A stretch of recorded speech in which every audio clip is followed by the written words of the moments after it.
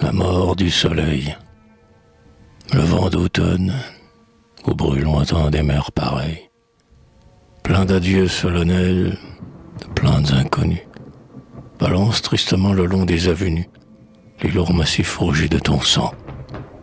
Au soleil, la feuille en tourbillon s'envole par les nues, et l'on voit osciller dans un fleuve vermeil. On s'approche du soir incliné au sommeil, de grands nitins de pourpre au bout des branches nues. Tombe, astre glorieux, source et flambeau du jour. Ta gloire n'a pas d'or coule de ta blessure, comme d'un saint puissant tombe suprême amour. Meurs donc, tu renaîtras. L'espérance en est sûre, mais qui rendra la vie, la flamme et la voix au cœur qui s'est brisé pour la dernière fois.